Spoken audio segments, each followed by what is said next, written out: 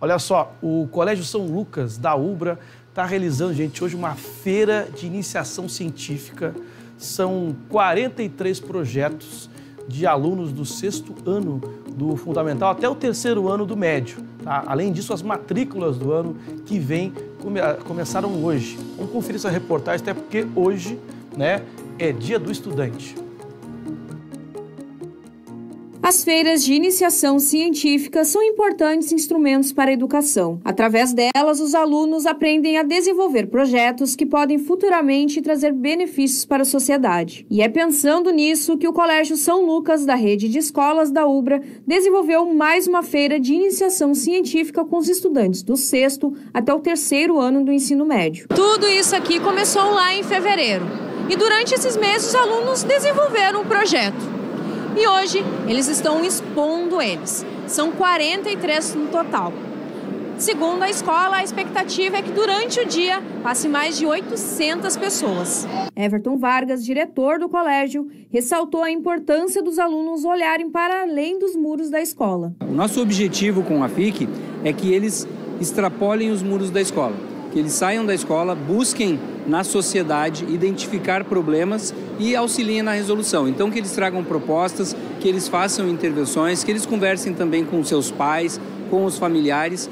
E aí, por isso que, apesar de se chamar Feira de Iniciação Científica, traz projetos de todas as áreas do conhecimento. Então, nós temos projetos voltados para as áreas de ciências humanas, de ciências da natureza, de linguagens, de matemática, enfim, todas, todas as áreas são contempladas porque é o próprio aluno, com o seu protagonismo, que escolhe o projeto que ele vai fazer e aí apresenta, então, de acordo com os seus, os seus estudos e com o professor que tem aquela afinidade, que conhece o tema. Então, os professores também acompanharam seus alunos e têm um papel fundamental na conclusão desses trabalhos. E são diversos assuntos mesmo que englobam saúde da mulher, sustentabilidade, cuidado com o meio ambiente, apadrinhamento de animais, enfim, vários. A gente viu que muitas mulheres acabavam se assustando quando falava menstruação. A gente foi na FEICOM, muitas mulheres quando a gente apresentava acabam fugindo do trabalho, não querendo falar sobre. Até aqui na escola a gente viu, né, algo novo, porque é sempre falando sobre temáticas mais amplas. Aí a gente decidiu fazer sobre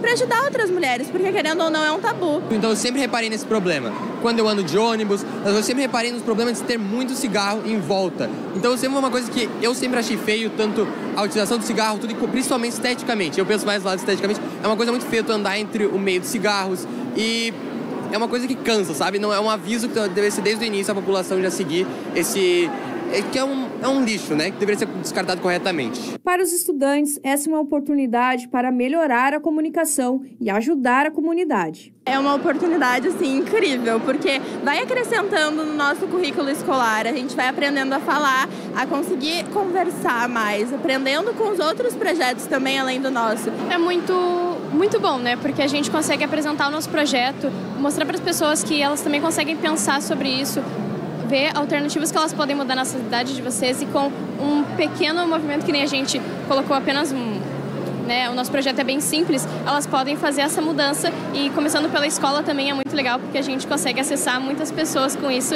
e talvez no futuro ampliar o projeto. Durante o evento também aconteceu a abertura das matrículas do ano que vem.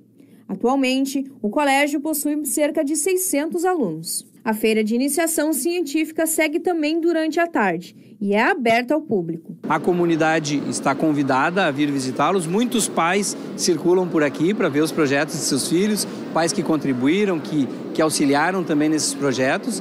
E também no turno da tarde, principalmente, os pais, os familiares vêm para assistir também, para prestigiar o trabalho e a conclusão dos projetos de seus filhos.